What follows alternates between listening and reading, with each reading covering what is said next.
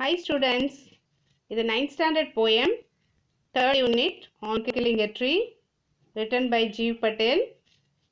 On killing a tree அப்படின்னும் போதே ரொம்ப கஷ்டமாக இருக்குது it is a sensitive poem ஏன்னா ஒரு மரத்தை எப்படி அழிக்கணும் எப்படி சாகடிக்கணும் அப்படின்றத இந்த போயமில் இந்த போயட் வந்து ரொம்ப நல்லா அழகாக டிஸ்கிரைப் பண்ணியிருப்பாரு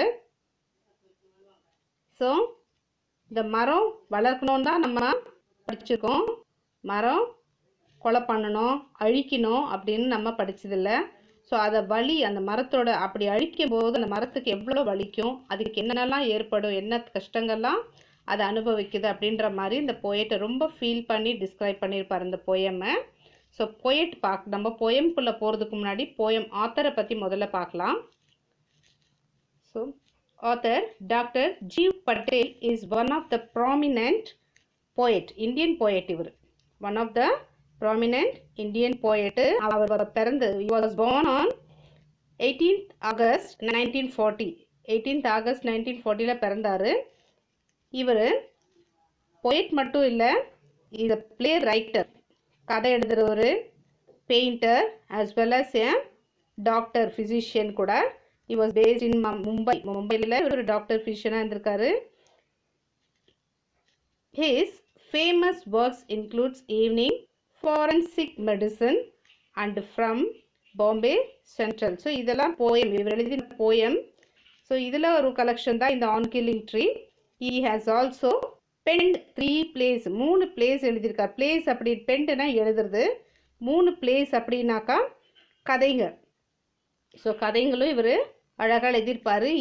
Been conducting a poetry workshop poetry workshop in Rishi Valley school Rishi Valley ஸ்கூலில் ஒரு poetry workshop வச்சுருந்தாரு and more than a decade this poem is taken from his poetry collections poems published in nineteen sixty six poem published in nineteen sixty six so வாங்க போயம்குள்ளே போகலாம்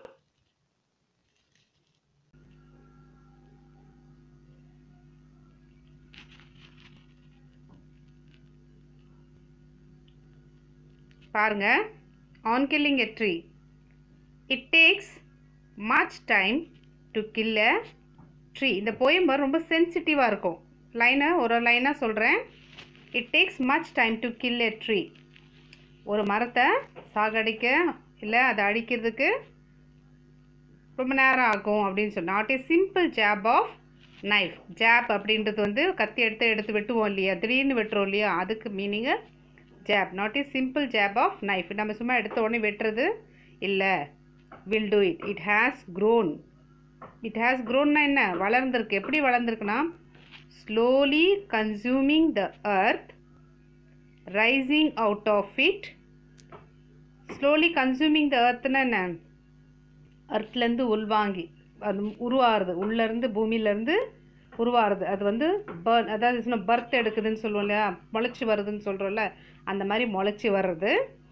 feeding upon its crust க்ரஸ்ட்னா அடுத்த லேயரில் இது first layer so இந்த first layer அந்த மேலே வருது. அப்சார்பிங்னா என்ன? உள்வாங்கிறது. அப்சார்பிங்னா உள்வாங்குறது. என்னென்ன உள்வாங்குதுன்னா years of sunlight air water பல ஆண்டுகளாக சன்லைட் எதெல்லாம் உள்வாங்குது? Sunlight air and water and out of its leprous hide leprous hide லெப்ரஸ்னாவே இந்த குஷ்ட நோய் சொல்லுவோம் இல்லைங்களா? ஸோ அது வந்து இந்த அந்த மரத்தோட பட்டைங்க இருக்குது பாருங்கள் அது எப்படி இருக்கும்? பல ஆண்டுகளாக மரம் வளர்ந்துருச்சுன்னா அந்த மரப்பட்டை எப்படி இருக்குமா? குஷ்ட நோய்க்கு மேலே எப்படி அந்த ஒரு கொப்பில் வந்த மாதிரி கொட்டி புண்ணு புண்ணாக இருக்குமோ அந்த பட்டைலாம் அப்படி தான் இருக்கும். நீங்கள் எப்படின்னா மரத்தில் டச் பண்ணி பாருங்கள் அந்த மரப்பட்டைங்கெல்லாம் அப்படி தான் இருக்கும்.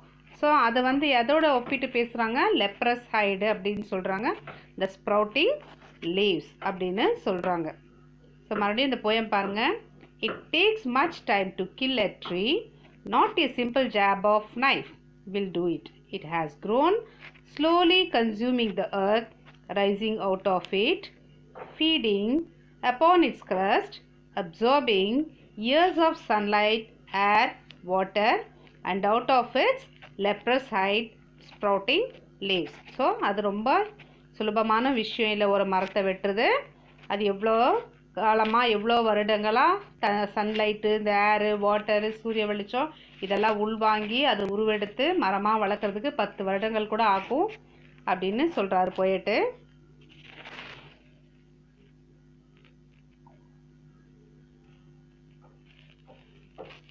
so hack hack and chop so hack and chop அப்படின்னா வெட்டுறது.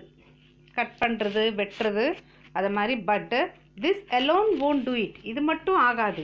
நம்ம எடுத்த கத்தி எடுத்தோமா வெட்டினமான்றது மட்டும் ஆகாது.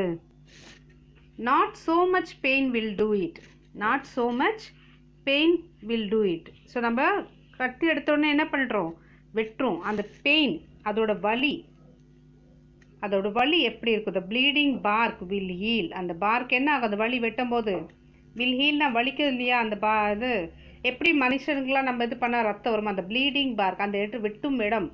அந்த நம்ம கத்தி எடுத்து வெட்டுற இடம் எப்படி இருக்குமா? வலிக்கும். And from close to the ground கிரவுண்ட்னா என்ன?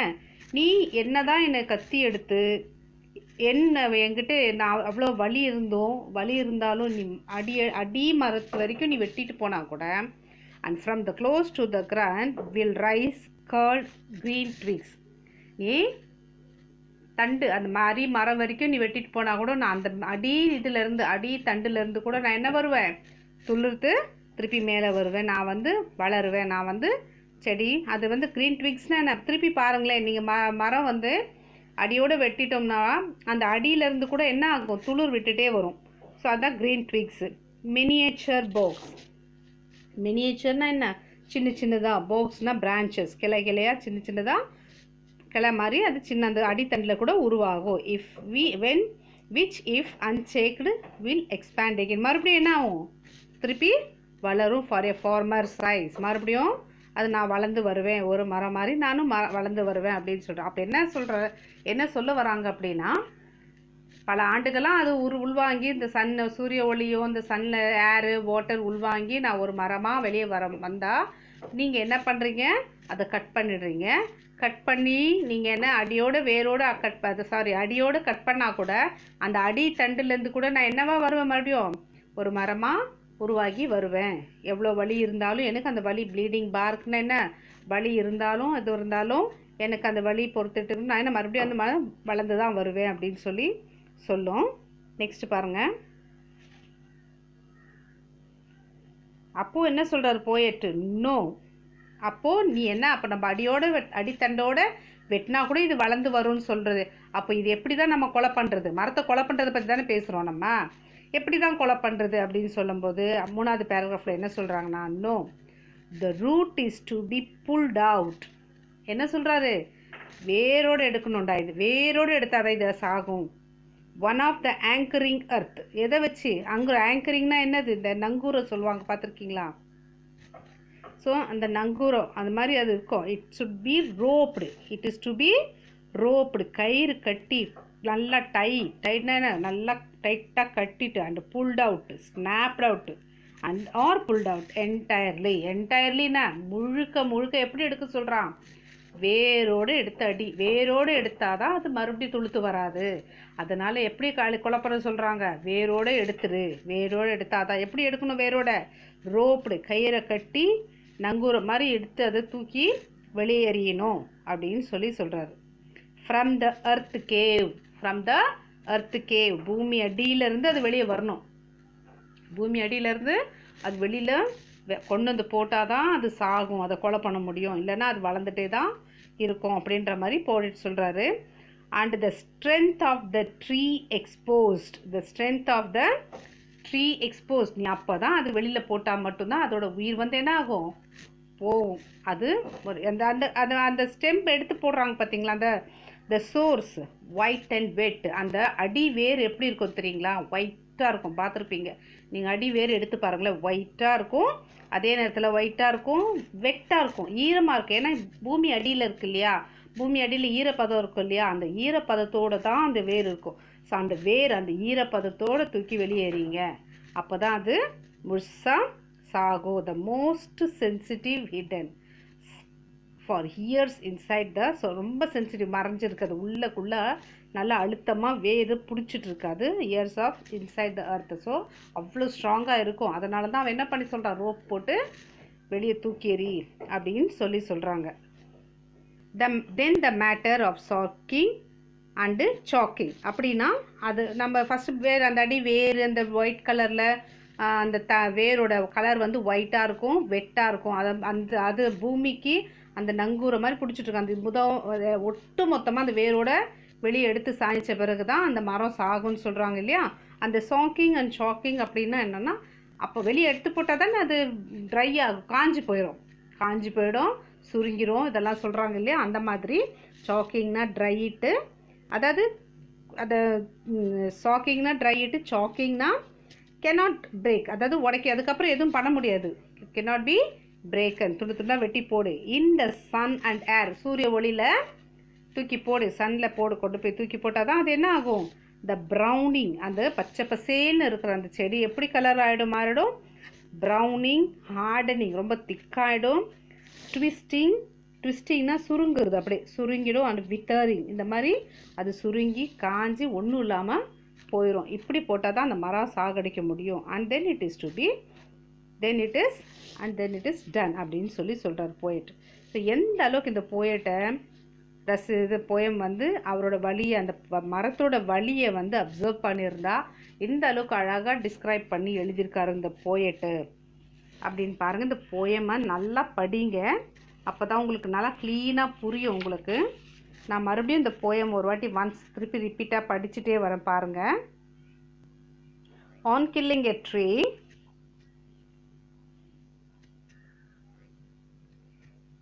it is n- it sorry it takes much time to kill a tree not a simple jab of knife will do it it has grown slowly consuming the earth rising out of it feeding upon its crust absorbing years of sunlight air and water and out of its leprous hide sprouting leaves so இதுலேருந்து என்ன புரியுது so மரத்தை அவ்வளோ சுலபமாக வெட்டிட முடியாது அப்படியே வெட்டணும்னா நான் இது? நான் இவ்வளோ ஆண்டு காலமாக பத்து பல ஆண்டு காலமாக நான் வந்து அர்த்துலேருந்து உள்வாங்கி அந்த ஈரப்பதத்துலேருந்து ஈரப்பதம் அதே மாதிரி சு- சூரியனோட ஒளி இதெல்லாம் நான் உள்வாங்கி நான் வெளியே வரேன். பெரிய மரமாக உருவாகிறேன். ஆனால் நீங்கள் என்ன பண்ணுறீங்க so hack and chop but this alone won't do it not so much pain will do it the bleeding path will heal and from close to the ground will rise curled green twigs. Miniature bogs, when which if unchecked will expand again for the, to a former size. திருப்பி நீ வெட்டி என் அரி மடத்து மரமாக வெட்டி தூக்கி போட்டால் கூட அந்த அரி த அடியில் இருக்க தண்டு இருக்குது பார்த்தீங்களா அந்த மரக்க ட்ரங்க்கு சொல்லுவோம்ல அந்த ட்ரங்க்லேருந்து மறுபடியும் நான் கேர்ள்டு க்ரீன் ட்விக்ஸ் ஒரு சின்ன திருப்பி முளைச்சி ஒரு மரமாக நான் வருவேன் அப்படின்னு சொல்லி சொல்லுது. ஸோ அதுக்கு என்ன சொல்கிறாரு no the root is to be pulled out one of the anchoring earth it is to be roped நம்ம நங்கூரம் போட்டு எடுக்க இல்லையா? ஏதாவது ஒரு பொருள் விழுந்துருச்சுன்னா ஸோ அந்த மாதிரி நங்கூரம் மாதிரி போட்டு எடுக்கணும் அதை.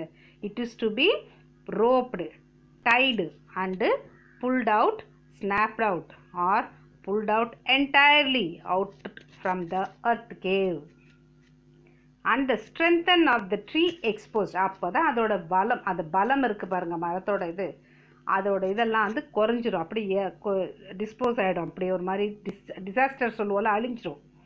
The source white and wet அந்த உள்ள அந்த வேர் இருக்குது பாருங்க அது அப்படியே ஒயிட் வேர் வந்து வெட் வேர் அப்படியே சென்சிட்டிவ் அந்த ஹிடன் அது உள்ளே அழிஞ்சு பதுங்கி இருக்குது இல்லையா? அது அப்படியே என்ன ஆகிடும் சுருங்கிரும். The year of years inside the earth எவ்வளோ ஆண்டுகளாக அது? வருஷம் எவ்வளோ வருஷக்கணக்காக அது உள்ளக்குள்ளே இருந்ததோ அவ்வளோக்கு அவ்வளோ அதை உள்ள வெளியில் வேரோட அறுத்து எறியணும் அப்படின்னு சொல்கிறாரு then the matter of scorching and soaking in the air and sorry the in sun and air browning hardening twisting withering and then it is done. So அதை முழுமையாக வேரோடு எடுத்து சாய்ச்சாதான் சுருங்கிடும் ஹார்டாயிடும் அதுக்கு உயிர் இல்லாமல் போகும். இப்படி அடித்தா மட்டும்தான் மரத்தை வந்து கொலை பண்ண முடியும் அப்படின்ற மாதிரி போயம் வழியோட இதை எக்ஸ்பிளைன் பண்ணியிருக்காரு. Thank you children